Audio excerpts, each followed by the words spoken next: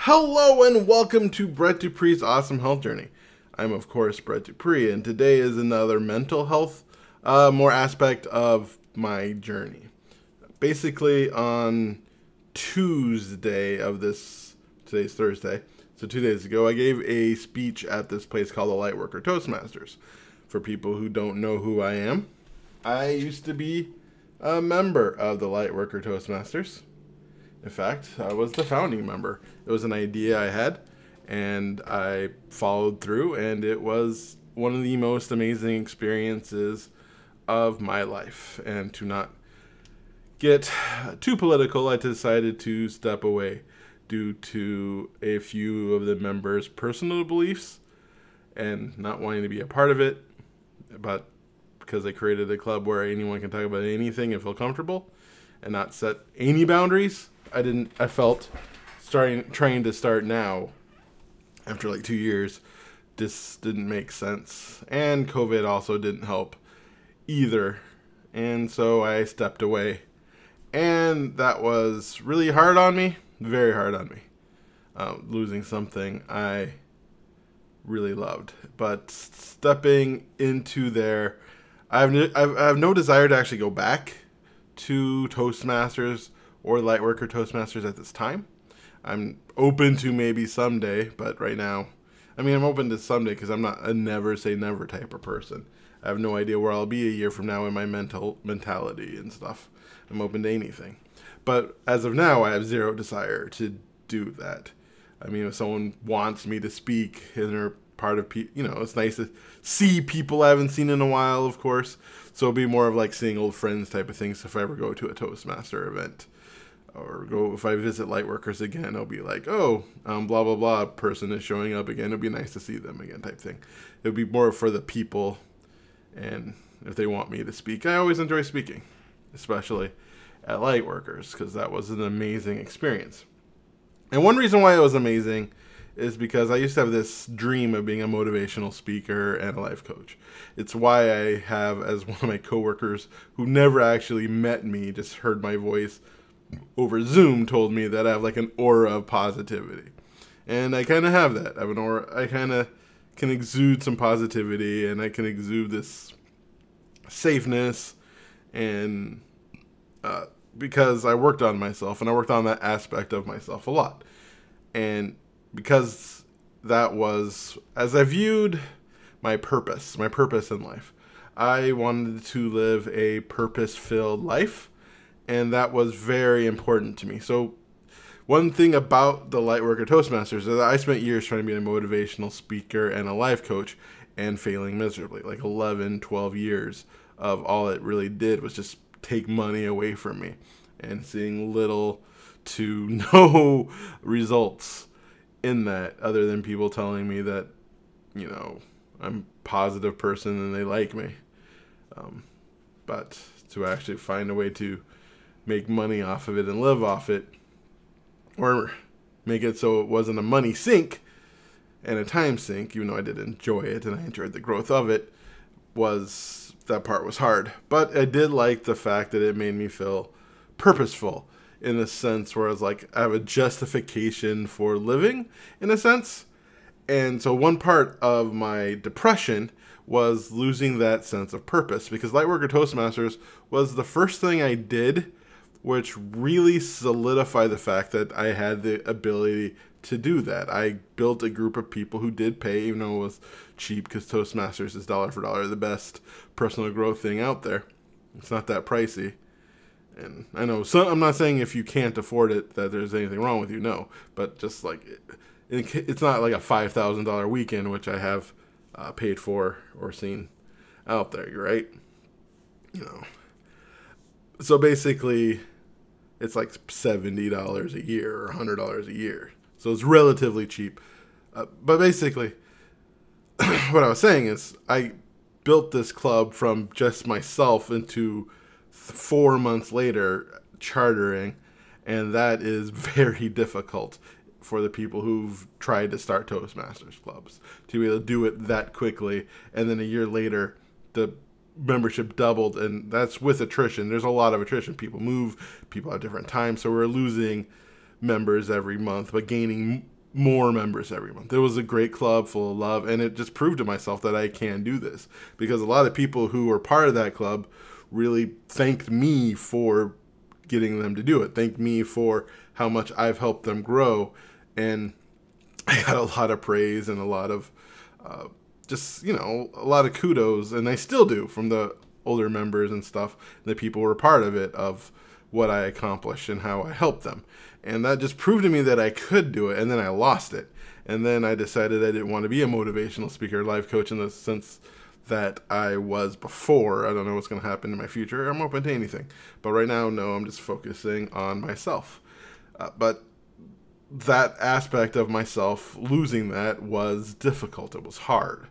It really helped me become depressed.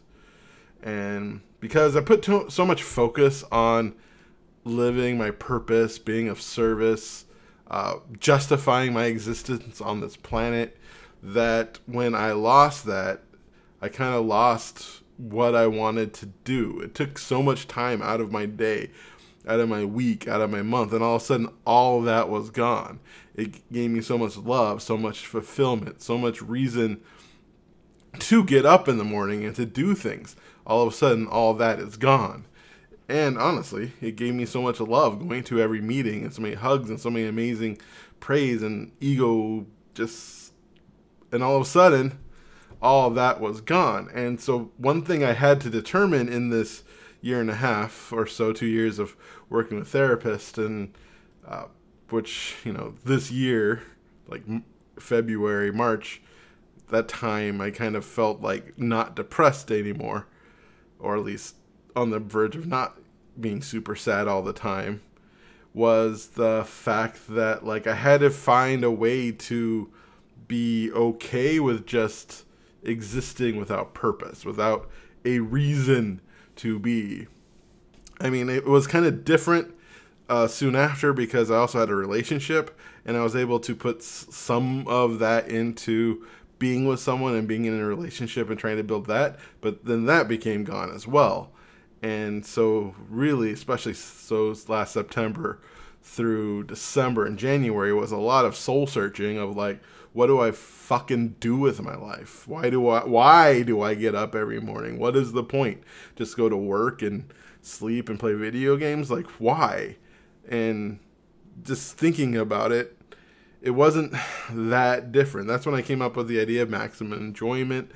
Um, you know, trying my best just to live my best life because like why do I even need to justify my existence? Why do why do I even need a purpose? Who fucking told me that? Who said like on high that I needed a reason to be to be, right?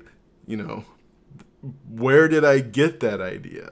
Why did I hold on to that idea even though I knew it was a wrong idea because it could lead to what it led to? Like I mentally knew that. I told myself that, but once I lost it, I still had that because a lot of times in life I've learned that you can understand things mentally or even emotionally, you know, from reading books or going through it, and so that makes sense. But once it actually happens, you don't know how you're going to react.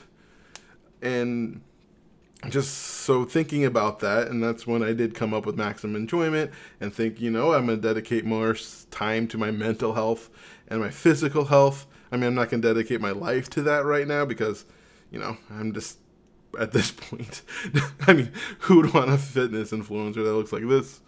But, you know, right now I have no desire to be a fitness influencer or a fitness person or make fitness my life, but I do need to become healthy because I don't want to be let's say hypothetically I live till I'm 80 if I work out. If I don't work out, I don't want to be 80 like this. I rather be I rather die healthy than die fat. And I don't want to say fat and unhealthy. I know fat healthy and said, but just this uncomfortable. I want to be more comfortable. So I'm really just focusing on my health and uh, working on just feeling surrounding myself and doing things that I enjoy and just enjoying this gift of life, right? This thing that was thrust upon me that I had no choice about. And I could be upset about it and think I need a purpose or a reason to live, or I can just recognize the fact that I'm here. I might as well enjoy it. I might as well do my best to live my best life for the reason of why not? Right? Why not? Like, I don't need a reason for being, I don't need a reason for living. I just need to live. I just need to be for the sake of it. I mean, to be or not to be, that is the question. The suffer all, the slings and arrows, and that's, I think, all I need. I think I already messed up. But you know, you know what I'm trying to say. Basically, I just had to come to the conclusion that the purpose of life is to live. And yet, I do like to serve. There's, I mean, I enjoy service. I enjoy helping people. I enjoy making people's day brighter, and I try to make every interaction with myself to make people's day brighter because I enjoy that. That brings me joy. It doesn't. I don't feel obligated. I don't feel like I need it to uh, justify myself or I do it because of past trauma. I do it because I like seeing people smile when they're around me and see them light up, even if it's the dentist, right? I tried to have a went to the orthodontist yesterday. D- dentistry's freaking expensive, but I try to like make that a positive uh, experience for them because why not? Because I have a more fun and that makes my life more enjoyable, right? And that's what I care about is my making my life as enjoyable as I can. And I've been talking longer on this one.